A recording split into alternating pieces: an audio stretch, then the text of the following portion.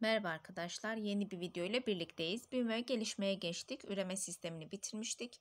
Bundan sonra çok fazla bir konumuz kalmadı zaten. Bu konudan sonra e, sinir sistemine geçiş yapacağız. Başlayalım isterseniz hemen. Şimdi bizim e, ilk önce döllenmeden bahsetmemiz gerekiyor. Aslında büyüme ve gelişmeye geçebilmemiz için döllenme nasıl gerçekleşiyor? Ben şöyle şekil üzerinde anlatmak istiyorum. Arkadaşlar döllenme sırasında e, sperm yumurtaya doğru hareket eder. Yumurtanın e, ve vajinanın işte rahimde salgılanan bir salgı sonucunda spermleri kendine doğru çekiyor. Yani bu türe özgü bir davranıştır. Bu salgılar sayesinde spermler kendisine doğru çekilir ve bir sperm sadece bir tane sperm e, yumurtanın içerisine girerek çekirdeğini bırakır. Daha sonra da arkadaşlar döllenme olayı burada gerçekleşmiş olur. Yumurtanın etrafında folikül hücreleri vardır. Bakın şu hücreler folikül hücreleridir. Bu folikül hücreleri yumurtayı koruyan hücrelerdir arkadaşlar. Şimdi yumurta nereye çıkıyordu? Ovülasyon sayesinde menstrual döngünün 14. gününde veya işte 13. 15. gününde 3 gün süre demiştik bunun için. 3 ya da 4 gün sürüyor demiştik. E, fallopi tüpüne yani yumurta kanalına çıkıyordu. Yumurta kanalına çıktıktan sonra bir hafta orada bekliyor. Eğer bir sperm gelir döllenme gerçekleşirse arkadaşlar burada bölünmeler başlıyor ve büyüme gelişme olayı başlıyor. Şimdi bizim yumurtamız çıktı nereye? Ovidukt kanalına yani fallopi tüpüne yani arkadaşlar yumurta kanalına çıktı. Yumurta kanalına çıktıktan sonra sperm geldi dölledi. Bunun etrafında bulunan folikül hücreleri de tabii ki ne yapıyor? Yumurtayı koruyor. Yumurta e, yumurtaya girebilmek için folikül hücrelerini geçiyor. Bir de türe özgü olan bir zar vardır. Zona pelusta dediğimiz bir zardır arkadaşlar. Bu türe özgü bir zardır. Başka spermlerin yani başka türe ait spermlerin girişini engeller. Dolayısıyla mesela insanlar için konuşuyoruz. Sadece insan spermi gelip yumurtaya giriş yapabiliyor. Başka spermlerin girişini engelliyor. Diğer türler için de geçerlidir arkadaşlar. Tabii bu mekanizma her türde çalışmayabilir ama insanlarda zona pelusta dediğimiz tabaka var tabii ki. Yumurtanın içerisine sperm girdikten sonra yani şöyle zona pelusta tabakasını geçtikten sonra arkadaşlar şurada sperm nükleosu yani spermin çekirdeği bulunur. Bu sperm çekirdeği yumurtanın içerisine giriyor ve yumurtanın içerisinde bulunan çekirdekle kaynaşıyor. Böylece spermden gelen kromozomlar yani kromatin DNA hepsini söyleyebiliriz kromozomlarla işte e, yumurtanın içerisinde bulunan kromozomlar birbirine kaynaşır ve döllenme olayı gerçekleşmiş olur. Döllenme olayı gerçekleştiği zaman o yumurta hücresine biz artık ne diyoruz? Zigot diyoruz. Bakın e, spermin gönderdiği başka herhangi bir şey yoktur. Sadece çekirdeğini gönderiyor arkadaşlar. Bizim e, spermin yapısında bulunan diğer işte şu baş kısmından sonraki kısımlar zaten içeriye giriş yapmıyorlar ve böylece ne oluyor? Döllenme olayı gerçekleşmiş oluyor. Bakalım söylemediğimiz başka herhangi bir şey var mı? Sperm bu arada reseptöre bağlanıyor arkadaşlar. Reseptöre bağlandıktan sonra zona pelustadan geçiyor. Ee, peki zona pelustayı geçmesi için hangi yapısı görev alıyor. Şimdi spermin uç kısmında bulunan yapıya biz akrozom diyorduk. Akrozomu burada göstermemiş ama şu çekirdeğin arkadaşlar uç kısmında şöyle şurada spermin baş kısmında akrozom dediğimiz bir yapı vardır. Akrozom yapısı enzim salgılar ve bu enzimler zona pelusta tabakasının delinmesini sağlayan yani e, buradan geçişini kolaylaştıran enzimlerdir arkadaşlar. Burada ne oldu? Döllenme olayı gerçekleşti. Zaten anlattığım olayları burada yazıyor. Peki döllenme olduktan sonra ne başlıyor? Döllenme tamamlandıktan sonra segmentasyon dediğimiz olay başlıyor. Arkadaşlar segmentasyon olayı aslında birbirini takip eden hızlı hızlı bölünmelerdir. Segmentasyon sırasında sadece hücre döngüsünde S ve M evreleri görülür. Yani sentez dediğimiz DNA'nın kendisine işlemesi, protein sentezini gerçekleştiği, organel sentezini gerçekleştiği evre bir de M, mitotik evre. Yani profaz, metafaz, anafaz ve telofaz evrelerinin sitokinez evresinin gerçekleştiği evreleri içeriyor. G1 ve G2 evreleri yoktur arkadaşlar. Çünkü G1 ve G2 evrelerinde çok az bir protein sentezleniyor ya da hiç sentezlenmiyor.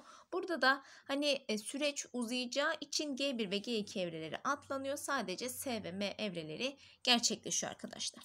Peki segmentasyon sonucunda oluşan hücrelere biz ne diyoruz? Blastomer. Bu arada segmentasyon olayı gerçekleşirken bakın şöyle gerçekleşir. Şimdi bu bizim zigotumuz. Zigotta bölünmeler gerçekleşirken hücrenin e, hacminde herhangi bir değişiklik olmuyor arkadaşlar. Hücrenin hacminde herhangi bir değişiklik olmuyor. Mesela örnek vereceğim. Tabi bu kadar büyüklükte olmaz ama mesela şöyle düşün. 1 kilogramlık bir hücre olduğunu düşünün. Tabi bu kadar olmaz. Ben anlaşılır olması için söylüyorum. Bu hücre bölündüğü zaman bir sürü bölünmeler gerçekleştirdiği zaman diyelim ki işte 30 hücreli veya 32 hücreli bir e, hücre yumağı oluştu. Bu hücre yumağı da yine aynı şekilde 1 kilogram ağırlığındadır. Yani ağırlığı değişmiyor, hacmi değişmiyor. Sadece hücre sayısı artırılmış oluyor. İlk 5-7 e, segmentasyon bölünmesi sırasında arkadaşlar blastosöl dediğimiz bir boşluk oluşuyor. Bu boşluğu çevreleyen bir top oluşuyor arkadaşlar. Biz bu topa da ne diyoruz? Blastula diyoruz. Blastosel denilen sıvı dolu bir boşluk var. Bunun etrafını çevreleyen içi boş bir top gibi bir yapı oluşur. Biz bu yapıya da ne diyoruz? Blastula diyoruz. Segmentasyon evresi bu şekilde gerçekleşiyor. Şimdi gelelim segmentasyonun çeşitlerine. Farklı farklı çeşitleri vardır arkadaşlar ve segmentasyon çeşidini etkileyen temel faktör yumurtadaki vitellusun dağılımıdır. Vitellus işte ortada bulunabiliyor. İşte e, bir mesela diyelim ki A kutbunda bulunabiliyor veya B kutbunda bulunabiliyor. Yani şöyle yumurtayı düşündüğünüz zaman vitellus ortada bulunabilir. Şu kısımda bu kısma yakın bulunabilir ya da bu kısma yakın bulunabilir arkadaşlar. Buna bağlı olarak farklı şekillerde segmentasyon çeşitleri görülebiliyor. Bakın mesela burada bir segmentasyonumuz var. Burada segmentasyonda bakın ikili oldu. Daha sonra dörde bölünüyor. Daha sonra arkadaşlar bir kere daha bölündüğü zaman 8 işte hücre oluşuyor. İşte daha sonra bölündüğünde 16 hücre oluşuyor. Böyle geometrik bir şekilde artıyor. İki çeşit bölünme şekli vardır. Holoblastik segmentasyon ve meroblastik segmentasyon dediğimiz. Holoblastik segmentasyonda hücreler eşit olarak bölünüyorlar. Yani şöyle düşünün. Vitellus dağılımı eşittir. Ortadan ikiye bölünüyormuş gibi düşünebilirsiniz. Ama meroblastik segmentasyonda bölünme tamamen eşit değildir arkadaşlar. Bu yüzden de meroblastik segmentasyon farklı şekillerde olabiliyor. Şimdi yumurtanın da tipleri vardır. İşte sentrolesital yumurta, telolesital yumurta, ileri telolesital yumurta ve de izolesital yumurtalar vardır. Sentrolesital yumurta, yumurtada e, vitellus orta kısımdadır arkadaşlar. Vitellus orta kısımda yani aslında şöyle düşünebilirsiniz. E, her tarafa dağ, dağılmış ama hani biraz daha e, yoğunluğu orta kısma daha çok yayılmıştır. Dolayısıyla sentrolesital yumurtada arkadaşlar blastomer bölümüne yani blastomer hücreleri daha böyle belirgin olmayan şekillerde görülür. Bakın mesela şurada. Mesela bakın şurada böyle çok küçük küçük hücreler var. Çok belirgin değildir hani bölünme şekilleri. Ama diğer bölüme, diğer yumurta çeşitlerine baktığımızda mesela hafif terolesital yumurtada. Yani e, vitellus dediğimiz yapı biraz daha böyle bir kutba doğrudur arkadaşlar. Hafif terolesital yumurta bu şekildedir. Burada bölünme olduğu zaman bakın bir kere bölündü. Daha sonra bir kere daha bölündü. Böyle bu şekilde arkadaşlar bölünme merkezi biraz daha yukarı kutba doğrudur. Yani üstteki hücreler daha küçük, alttaki hücreler daha büyüktür. Hafif telolesital yumurtada. İleri telolesital yumurtaya baktığımız zaman ise şöyle düşünün. Üst taraftaki hücreler çok küçüktür. Burada tepeden bir görünüm vardır. Üst taraftaki hücreler çok küçüktür. Alt taraftaki hücreler de çok büyüktür. Dolayısıyla burada da arkadaşlar eşit bir bölünme yok. Ama izolesital yumurtada hücreler hemen hemen eşit büyüklüğe sahiplerdir. Bakın zaten bu insanlarda bulunan bir yumurta çeşididir. Dolayısıyla burada bölünme gerçekleşti. İki tane eşit hücre oluştu. Daha sonra dört tane eşit büyüklükte hücreler oluştu. Bu şekilde arkadaşlar bölünmeler gerçekleşiyor ve e, holoblastik bir bölünme gerçekleşiyor burada da. Dolayısıyla e, buradaki bölünmeler sonucunda oluşan hücreler hemen hemen birbiriyle aynı büyüklüğe sahiplerdir. Bizim için önemli olan zaten izolesital yumurta tipidir. İzolesital yumurta tipinde holoblastik yani eşit bölünmeler görülür arkadaşlar. Bunu söylemiş olalım. Şimdi Segmentasyon evresi bittikten sonra diğer evreler, evreler başlıyor. Bunlardan bir tanesi gastrülasyon evresidir. Arkadaşlar gastrülasyon evresinde içi boş olan blastula artık gastrula olarak adlandırılan iki tabakalı ya da üç tabakalı embriyoya dönüşmeye başlıyor. Şimdi ne dedik? Bölünmeler sürekli gerçekleşiyor ve içi boş olan, şöyle içi boş olan bir e, hücre yumağı oluşuyor. Bu içi boş olan hücre yumağı arkadaşlar iki tabakalı ya da üç tabakalı embriyoyu oluşturmak üzere farklı bir biçimde farklılaşıyor diyelim. Bu gastrülasyonda bulunan hücre tabakalarına biz embriyonik germ tabakaları diyoruz veya embriyonik örtü diyebiliyoruz. Nedir bunlar? İşte ektoderm tabakası, endoderm tabakası ve mezoderm tabakası. Geç gastrula dediğimiz evrede ektoderm tabakası yani dış tabaka oluşur. Endoderm tabakası ise arkadaşlar embriyonik sindirim kanalını oluşturuyor. Yani endoderm zaten endo iç demektir. Dolayısıyla iç kısımda bulunur ve sindirim kanalını oluşturuyor arkadaşlar. İki tabakanın arasında da mezoderm tabakası oluşuyor. E, canlılar bulundurdukları tabaka sayılarına göre diploblastik ya da triploblastik olarak isimlendiriliyorlar. Diploblastik olanlar D2 demektir. Sadece ektoderm ve endoderm tabakasına sahiptirler.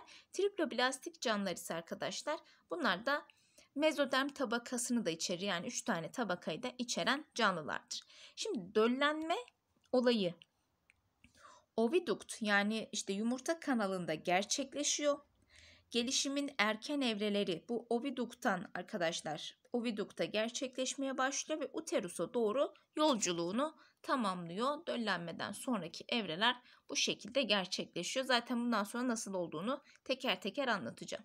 Şimdi bu tabakalardan bahsederken e, hangi yapılara dönüşüyor bunlardan bahsedelim arkadaşlar. Sorulabiliyor. EBT'de çıkmış sorular var. Şimdi ektoderm tabakasına baktığımız zaman dış tabakayı oluşturuyor embriyonun.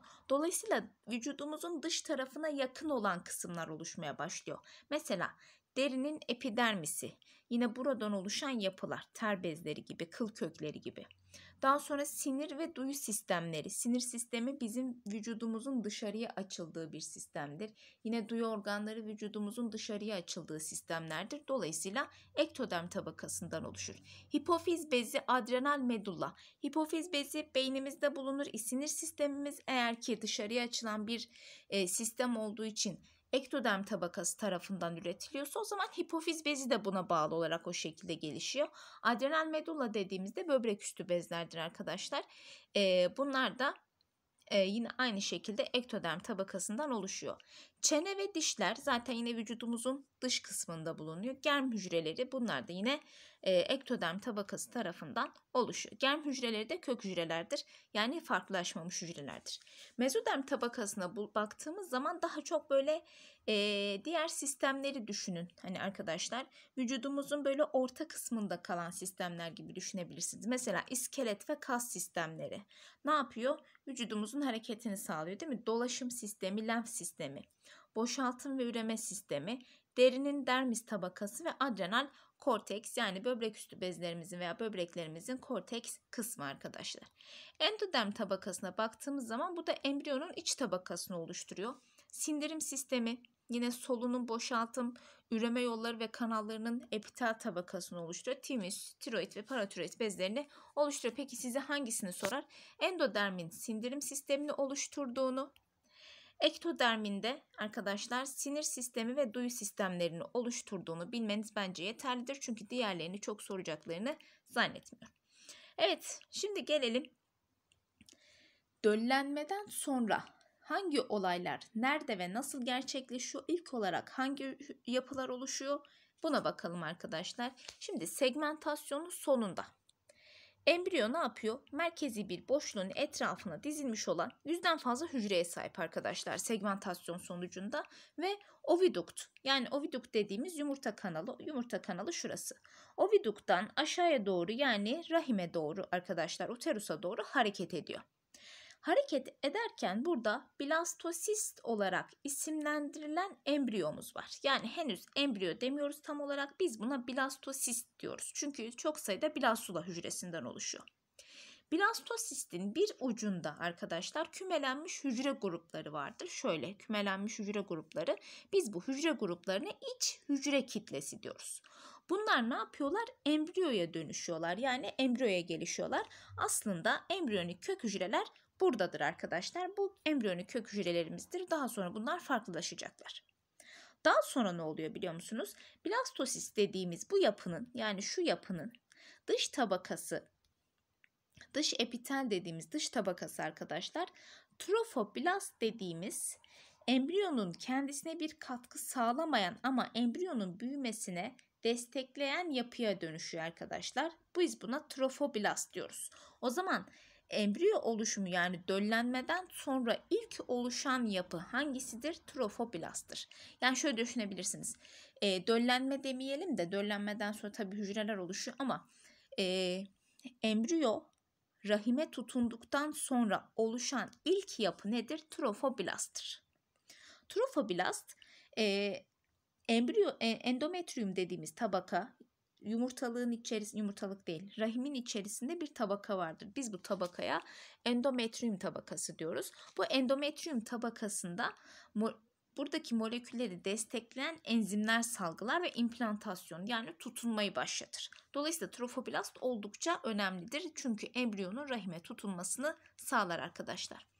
Trofoblast hücre bölünmeleriyle kalınlaşır Çevredeki dokuları arkadaşlar parmak benzerinde çıkıntılar, uzantılar bakın şöyle parmak benzerinde uzantılar gönderir. Bu uzantılar sayesinde endometrium kılcal kan damarlarıyla zenginleşiyor. Böylece implantasyon dediğimiz olay gerçekleşiyor. Arkadaşlar implantasyondan sonra bir disk oluşuyor. Yani e, iç hücre kütlesi, şuradaki iç hücre kitlesi bir disk oluşturuyor. Bu diskin üstteki hücre tabakasına epiblast diyoruz. Alttaki hücre tabakasına da hipoblast diyoruz arkadaşlar. İşte insan embriyosunun oluştuğu yer neredeyse epiblasttır. Yani tamamen epiblasttan oluşuyor diyebiliriz arkadaşlar. İnsan embriyosunun tamamının oluşturduğu kısım epiblast diyebiliriz neredeyse ama tamamen değil.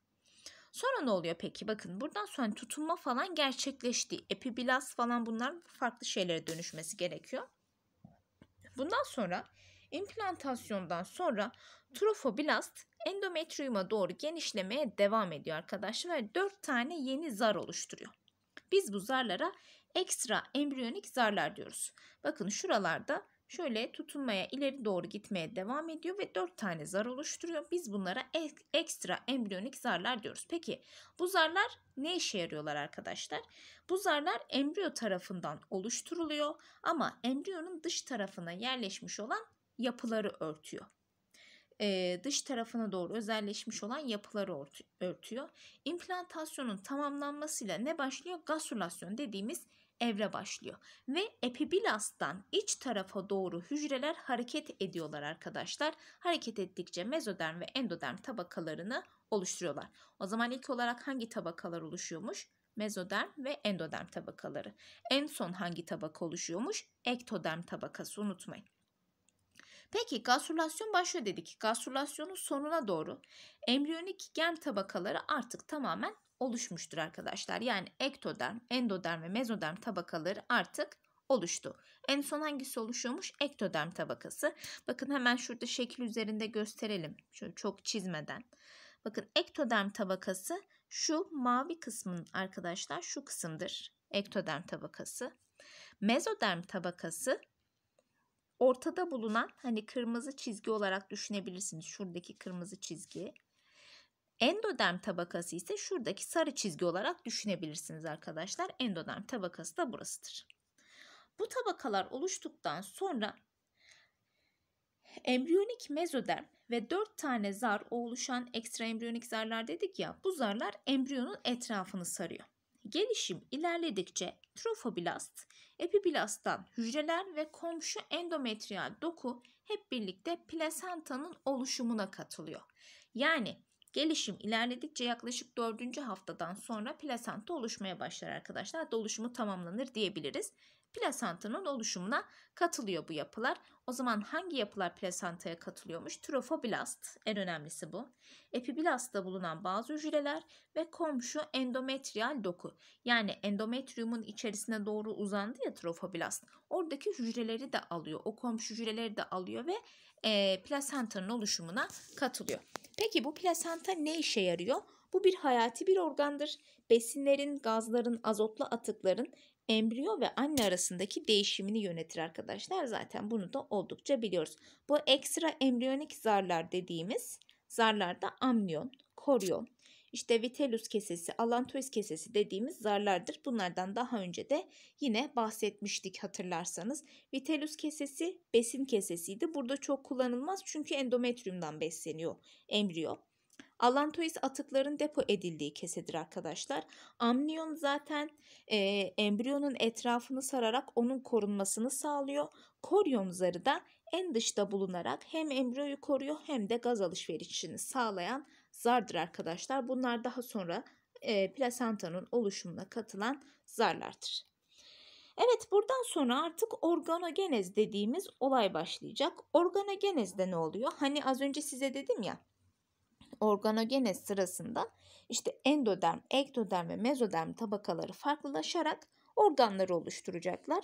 Arkadaşlar e, omurgalılarda beyin ve omuriliğin geliştiği evreye biz nörolasyon evresi diyoruz. Nörolasyon evresi. Nörolasyon evresinde dorsal mezoderm. Bakın dorsal mezoderm.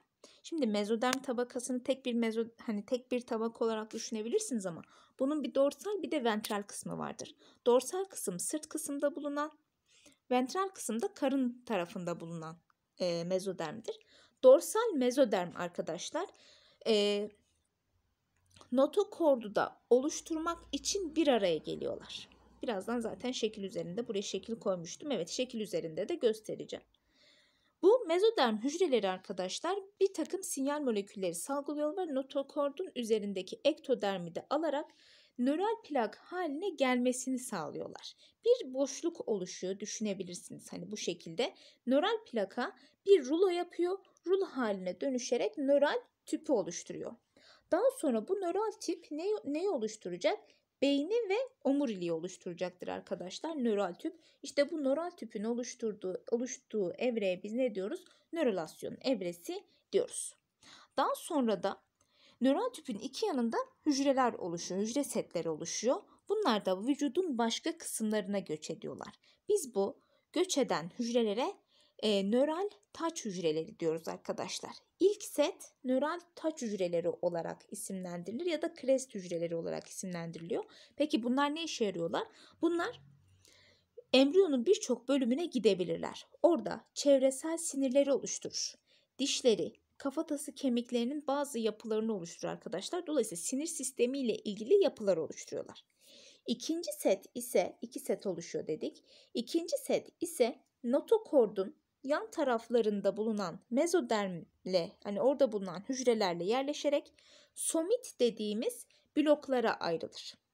Bu somitlerde arkadaşlar e, mezenşim hücrelerine dönüşüyorlar. Mezenşim hücreleri. Bu mezenşim hücreleri daha sonra e, vücudumuzun segmentli yapısını oluşturacaklar. Ayrıca mezenşim hücreleri omurgamızı oluşturuyor tamam mı? Bunu da unutmayın. Mezenşim hücreleri omurgamızı oluşuyor. Eğer ki nöral tüp oluşumunda herhangi bir hata olursa spina bifida dediğimiz bir hastalık ortaya çıkıyor arkadaşlar. Hastalık demeyeyim de bir olay gibi düşünebilirsiniz. Bu durumda nöral tüpün bir kısmı gelişmiyor. Omurilik kolonunda bir açıklık bırakıyor ve sinir hasarına yol açıyor. Bu zaten e, bu tür embriyo ya gelişmiyor ya da gelişiminde aksaklıklar meydana geliyor arkadaşlar. Yani eksik doğumlar ortaya çıkabiliyor. Bakın nöral kıvrım. Bakın nöral bir kıvrım var. Şurası nöral plak ortada bulunan kısım. Daha sonra şu nöral kıvrımlar bir araya geliyorlar ve nöral tüpü oluşturmuyor, oluşturuyorlar arkadaşlar. Burada da iki set hücre oluşuyor dedik. Nöral krest hücreleri var. Bu nöral krest hücreleri bakın etrafını sarıyor. Etraf, şurası da ektodermin dış tabakası arkadaşlar. Böylece nöral tüp oluşumunu desteklemiş oluyorlar. Evet Bakın burada da yakından göstermişiz. Şu nöral tüp. Şurası notokord zaten notokordu oluşturdu. Somit dediğimiz hücreler arkadaşlar. Somit hücreleri. Yine söloma oluşturuyor. Endoderm, ektoderm ve mezoderm tabakalarını göstermişiz. Bu şekilde vitellus kesesi, vitellus sapı bu şekilde oluşmuş. Daha sonra hani bir yapıya dönüştüğü zaman da geç organogenez dediğimiz olayda hemen hemen şöyle bir hani yavaş yavaş bir insan görünümünü almaya başlıyor. Bakın buradaki yapı, buradaki embriyo bütün omurgalılarda görülen embriyo tipidir. Yani bütün omurgalılarda arkadaşlar göz, ee, şöyle göz demeyeyim de hani baş kısmı, daha sonra baş kısmın hemen yanında solungaç yarıkları görülür. Solungaç yarıkları daha sonra solunum sistemini oluşturacaklar. Daha sonra bir kalp oluşumu vardır. Yine kan damarları bakın burada görülüyor. Kan damarları daha sonra iç kısma da alınacak. Somitler arkadaşlar burada kuyruğun yapısına da katılmış. Nöral tüp zaten şöyle omurga boyunca uzanıyor. Bu arada şuradaki kuyruk kısmı yine tüm omurgalılarda görülen ortak bir özelliktir. Evet böylece ne yapmışız bitirmişiz aslında videomuz ben daha devamı gelecek diye düşündüm ama daha devamı gelmiyor arkadaşlar. Bu arada bu anlattığım bir tavuk embriyosundaki organogenez. Hani insanlarda da böyle bir organogenez olayı zaten gerçekleşiyor hemen hemen birbirine benzerdir. Evet böylece bu videomuzu bitirdik. Bir sonraki videoda sinir sistemine geçiş yapacağız. Sonraki videoda görüşmek üzere. Hoşçakalın.